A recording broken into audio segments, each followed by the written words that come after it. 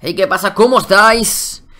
Welcome otra vez aquí en JKC Life y bienvenidos a un nuevo vídeo en esta ocasión para hacer la crónica post partido entre el Real Madrid contra la Real Sociedad, partido liguero donde el Real Madrid, pues he de decir que ha sido uno de los mejores partidos en la primera parte que yo he visto de la temporada, la cuestión es la que es, ha ganado con un resultado abultado de 5 a 2, pero he de decir que ha sido como un poco yin y el yang, ¿no? Es decir, ha habido una parte súper buena y una parte súper mala. ¿eh? La parte súper buena ha sido la primera parte y la parte súper mala ha sido en la segunda.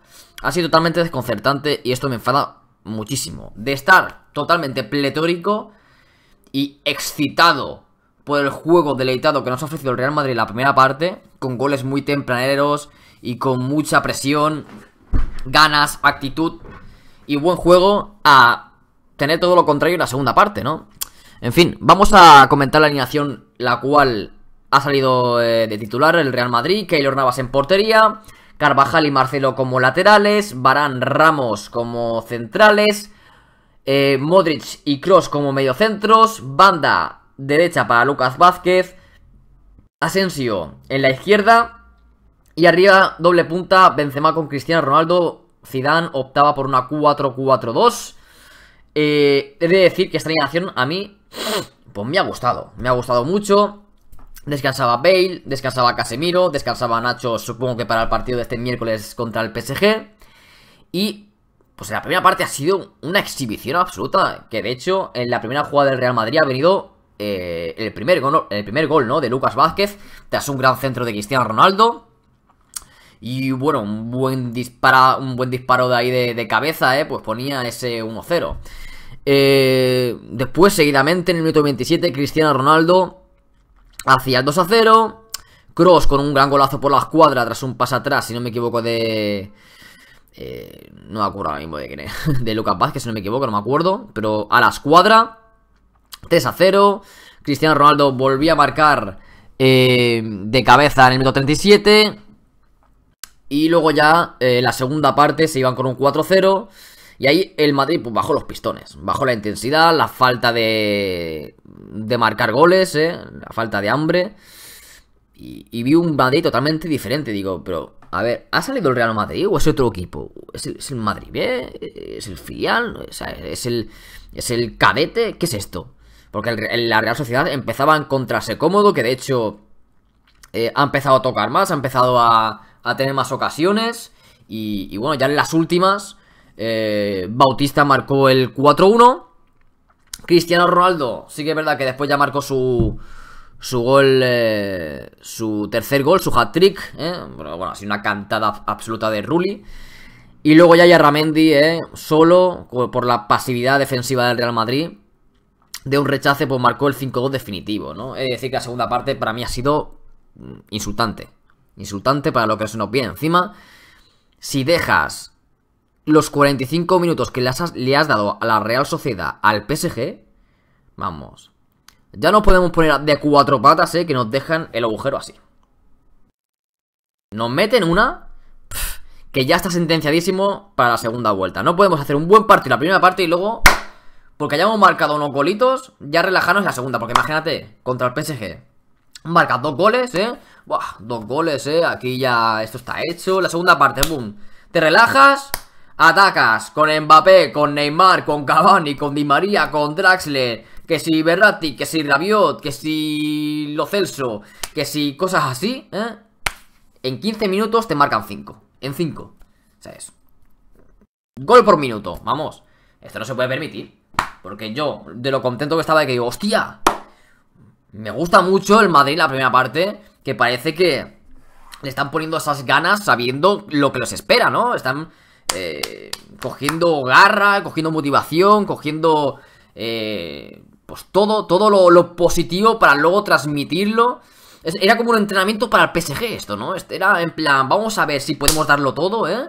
Para con el PSG, pues, ponerlo en práctica ya, ¿no? Lo estaba haciendo en la primera parte, pero después la segunda, pues que no entiendo ese cambio, es que no lo entiendo.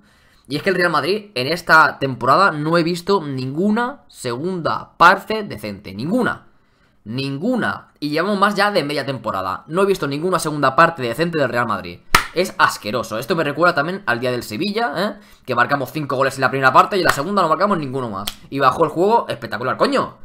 Yo veo al PSG que, mete goleadas y marca tanto en la primera como en la segunda. Pero haciendo buen juego en, las dos partes. No he visto un, partido del Real Madrid que los 90 minutos sea un buen partido. Y esto me cabrea bastante.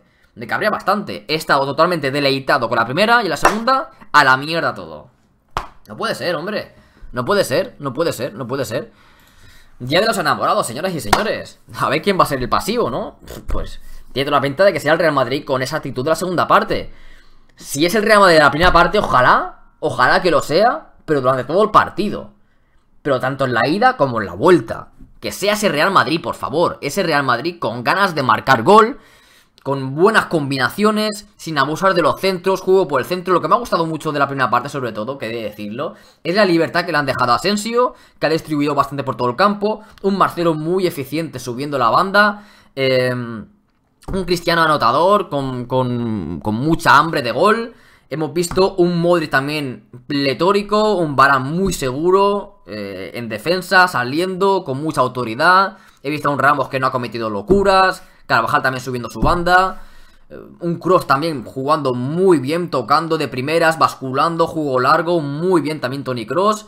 Lucas Vázquez haciendo daño por esa banda derecha también, entrando, internando, muy bien. Lo único gris un poco, pues Benzema, ¿no? Que nos ha visto en todo el partido y que encima en, en el último minuto del partido ha fallado una ocasión hiper mega clara, que estaba en el área pequeña y creo que la ha metido o sea, va a chutar con el interior y casi le mete con el talón de abajo. Sea, con el talón de abajo, ¡pum! Y se ha ido a las nubes. Sea, Benzema ya es, vamos, ya, ya es que no, no, no podemos pedir más, ¿no? De, de este francés y de este hombre, que es por eso que Hermel, pues se ha ido del chiringuito, ¿no? Porque ya no sabe ni cómo defender a, a su hijo pródigo, eh, Karim Benzema.